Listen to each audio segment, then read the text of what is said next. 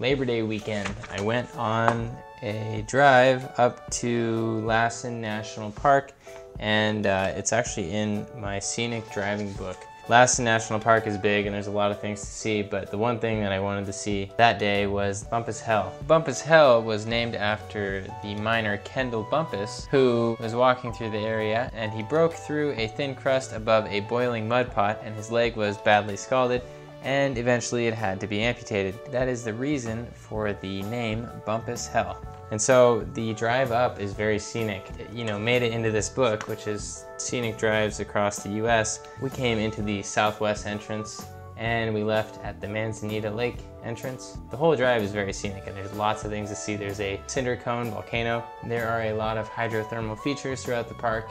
Um, so you see things bubbling up, uh, steam coming out of the ground and it's all natural. It's actually uh, nature that created this, although it just looks fake. But it's really cool to see all this stuff. And the one thing is the smell. It smells awful.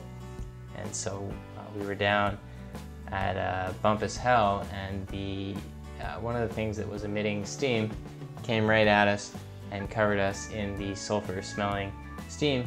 The steam sort of sinks into your clothes, and then you smell like that steam for the rest of the day. So that was interesting. But aside from that, this drive, I would rate it, you know, very highly on the scenic level. Lots of things to see. If you like nature, it's really great.